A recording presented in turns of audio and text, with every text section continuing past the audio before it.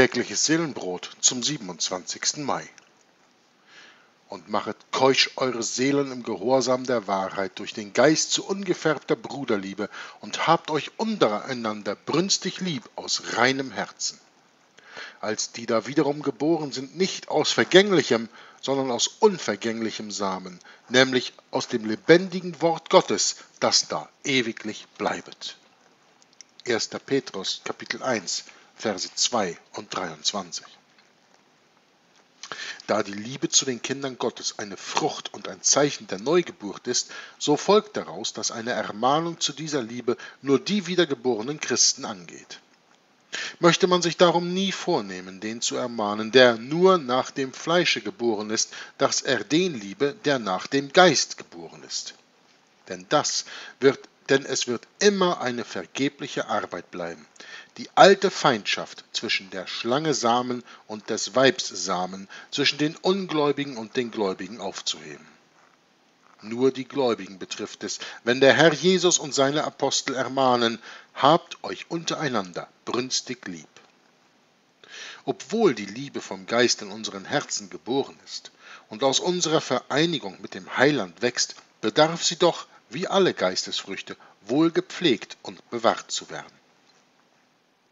Daher alle Ermahnungen und Aufforderungen der Schrift zur Liebe.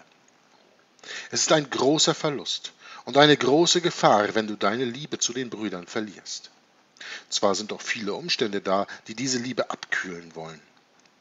Unser abgesagter Feind, der wohl weiß, was er gewonnen hat, wenn er dich vom Bruderkreise trennen kann, zielt stets auf die Bruderliebe der Christen und er findet dafür in unseren eigenen Herzen gar viele Mittel.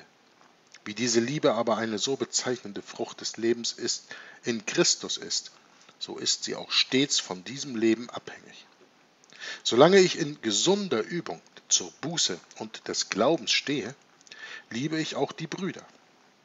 Darum liegt die erste und wesentlichste Ursache einer erkaltenden Liebe in einem geschwächten Gnadenleben weil ein irdischer Sinn anfängt bei einem Christen überhand zu nehmen, so dass er nicht mehr in täglicher Übung der Buße und des Glaubens, der Erkenntnis der Sünde und des Umfassens der Gnade lebt, dann fängt er sogleich an, kalt gegen die Brüder zu werden und statt der in ihnen wohnenden Gnade mehr ihre, Fehler zu sehen.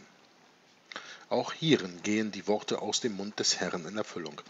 Weil die Ungerechtigkeit überhand nimmt, wird die Liebe in vielen erkalten. Daneben finden sich bei den Brüdern auch viel Unverstand und andere Unarten, die die Liebe abstoßen und erkalten lassen könnten. Endlich kommen zuweilen auch unterschiedliche Meinungen hinzu, die den Bruderkreis spalten. Gewiss betreffen die Meinungsverschiedenheiten nur weniger wesentliche Fragen, denn in der Hauptsache sind alle Gläubigen in der ganzen Welt einig. Dennoch aber können diese Nebenansichten der Liebe tödliche Wunden schlagen, wenn ich nicht verstehe, dass ein Bruder ein ebenso redlicher und begnadigter Christ sein kann, auch wenn er nicht alle Punkte im Wort Gottes so auffasst wie ich. Oder wenn ich nicht verstehe, dass unter denen, die in gewissen Fragen andere Ansichten haben, auch gläubige Kinder Gottes sind. Denn daraus folgt, dass ich anfange, alle diejenigen zu verurteilen, die in irgendeiner Hinsicht anderer Meinung sind als ich. Ein solches Richten aber wird für immer die Liebe verletzen. Etwas anderes ist es, wenn ich einer falschen Ansicht widerstehe und einen Fehler oder ein unverständiges Betragen meines Bruders strafe, etwa wie der Herr Jesus den Petrus strafte, als dieser das Schwert ergriff und als er ihn ein anderes Mal Satan Widersacher nannte. Solche Bestrafung lässt sich immer mit der Liebe vereinigen. Denjenigen aber zu verdammen, der in Christi Blut seinen einzigen Trost, sein Alles in allem hat, ist ganz gewiss gegen die Liebe und tötet sie. Dies geschieht auch, wenn die Nebenfragen mir so groß und wichtig werden, dass sie den ersten Platz in meinem Herzen einnehmen, was sich dadurch beweist, dass alle, die in dieser Sache mit mir einig sind, auch wenn sie nicht in Christus leben, mir lieber werden als diejenigen Freunde Jesu, die in dieser Sache nicht mit mir einig sind.